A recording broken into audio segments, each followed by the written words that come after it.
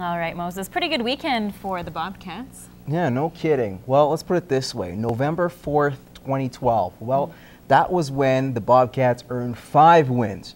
They've already got that mark, and we're not even done. September, they went the first back to back to back stint, taking four of a possible six points. And Matt Choumont has a great story about a team that's seeking their fourth game winning streak or saw it come to an end. Now they're going to regroup start a brand new one as they hit the road to face their rivals tomorrow night. It was almost a perfect weekend for the Bobcats. After wins over the Calgary Mustangs and Olds Grizzlies, the Cats just came up short against the Fort McMurray Oil Barons as they collect four out of a possible six points over the three games. I thought it was a successful weekend, and uh, you know we played a real strong team yesterday physically, and and uh, be able to come back today with the energy that we that we displayed, and, and, not having Grant in the lineup hurt us a little bit. We definitely worked pretty hard this weekend, but uh, you know we, we would have liked the, the, full six, but uh, you know it's just uh, like the like I said, like the staying out of the box is just a huge huge thing in this game, and then uh, you know we battled hard, but you know when, they, when we give them momentum like that, it's it's hard hard to come back from. Despite the loss on Sunday, the Border City Bunch have won four of their last five games. More impressive has been the play of Tanner Dunkel, who has collected a point in all of the Bobcats' nine games this year.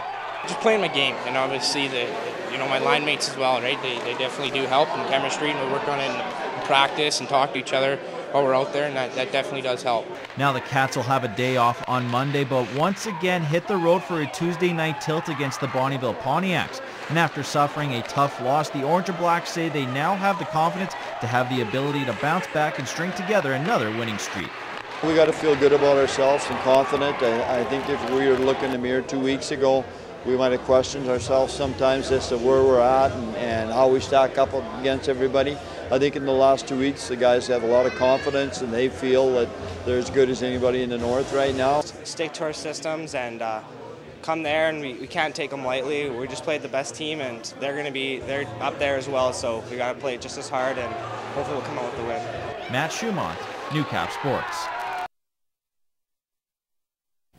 The seventh annual AJHL Showcase was yet another huge success, giving players a chance to showcase their talents in front of all scouts at all different levels. Matt Choumont had a chance to talk with League Commissioner Ryan Bartoshyk to get his thoughts on the event.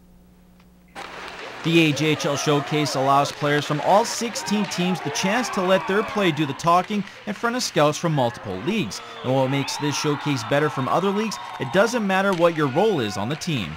Whether it's a first line guy or a third line guy, there's a variety of of schools here, whether it's from you know Div One, Div Two, CIS, ACAC. So you know our league's about development, development, and giving our guys options to move on and continue their careers. A total of 140 scouts from various leagues made the trip to Spruce Grove, and after talking to a couple scouts throughout the three-day event, Bartoshyk says they couldn't have asked for a better way to do some scouting. They know what to expect now coming to Spruce Grove and coming to our league and for us, it's really about building relationships with this group and our teams building those relationships. So, um, you know, I think we've gotten to a good spot and we'll continue to improve the event on a year by year basis. Now, as for the AJHL itself, the showcase has allowed for it to show off their brand, bringing in young and talented players from across the country.